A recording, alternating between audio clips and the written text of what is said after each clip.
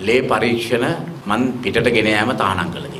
ඒ කියන්නේ 5 ලක්ෂ 20 ගානක් එනකොට අපි ඒක වයින් පරීක්ෂා කරේ 3 ලක්ෂ 20000ක විතරයි. 2 ලක්ෂයකට කිව්වා එළියෙන් කරගෙන එන්නේ. එතකොට මේ 2 ලක්ෂෙන් කී දෙනෙක් මේ සල්ලි ටික කොච්චර අමාරුවෙන් හොයාගන්නේ නැද්ද? අපේ රටේ නිදහස් සෞඛ්‍ය කියලා කිව්වට අපේ නිදහස් සෞඛ්‍ය කොහෙද තියුනේ? මේ රජයේ එනකම් නිදහස් සෞඛ්‍ය කොහෙද පිළිකා රෝගීන්ට තියුනේ? පිළිකා රෝගීන්ට තියුනේ සීමාවක් දාලා ලක්ෂ 15යි. 2015 අපි මේ වැඩපිළිවෙල ගේනකම් මේ මිනිස්සු මැරුණේ සල්ලි නැතිකමෙන්. අපේ රජයේ එනකම් අවුරුද්දකට පිළිකා ඖෂධ වලට වියදම් කරේ රුපියල් මිලියන 1300 ගාණයි. අද මම වියදම් කරනවා මිලියන 4800ක්.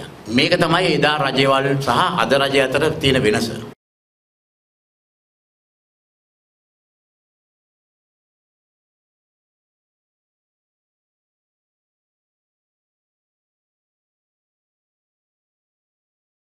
පිවිසන්න www.itnnews.lk/sinhala